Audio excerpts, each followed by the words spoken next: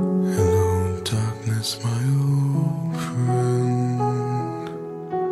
I've come to talk with you again because a vision softly creeping left its scenes while I was sleeping, and the vision that was planted in my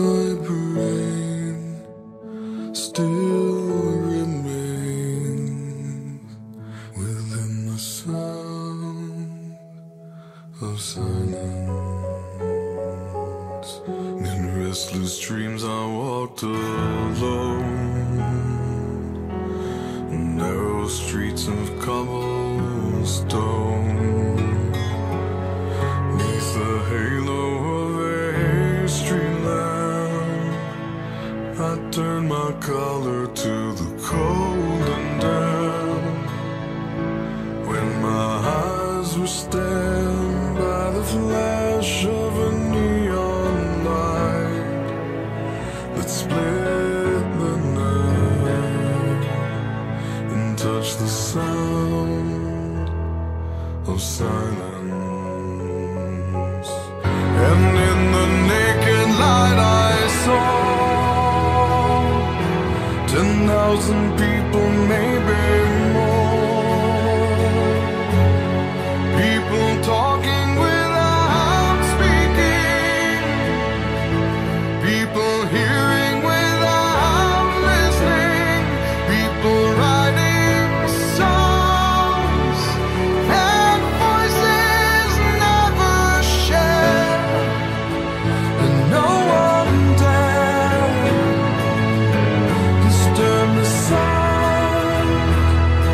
silence